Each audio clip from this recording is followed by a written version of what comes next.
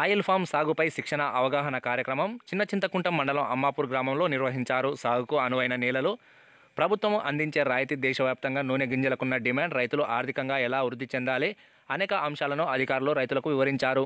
ఈ కార్యక్రమంలో వ్యవసాయ అధికారి రాజేష్ ఉద్యాన అధికారి మహేందర్ వ్యవసాయ విస్తరణ అధికారి సంతోష్ పియూనిక్ జిల్లా అధికారి ప్రమోద్ క్లస్టర్ అధికారి బాలరాజ్ తదితరులు రైతులు పాల్గొన్నారు.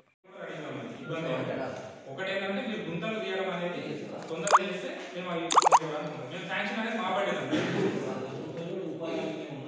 అది చెప్తాను. నెక్స్ట్ అది చెప్తాను. అయితే మనకు చిన్న సన్నకారు రైతులు ఎవరైతే ఉంటారో ఉపాధి హామీలో జాబ్ కార్డ్ ఎవరికైతే ఉందో జాబ్ కార్డ్ ఉన్న వాళ్ళు మీ మీ పంచాయత్ సెక్రటరీ నిర్ణయించుకుంది.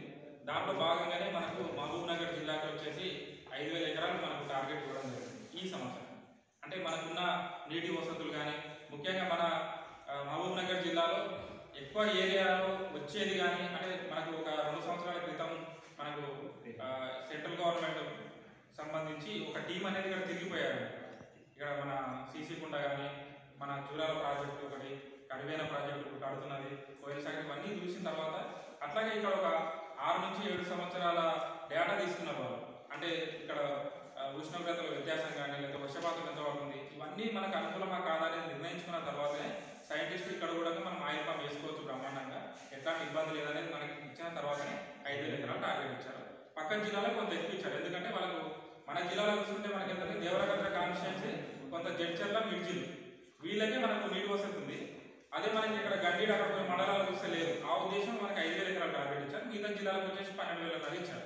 ఈ ఐదు వేల ఎకరాల టార్గెట్ కానీ ఇప్పటికీ మనకు పద్నాలుగు వందల ఎకరాలు మనం మొక్కలు నాటించడం జరిగింది ఈ సంవత్సరం.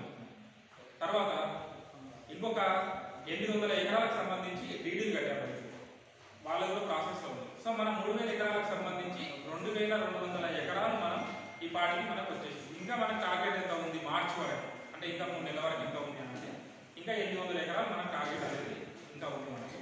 దాంట్లో భాగంగా మనం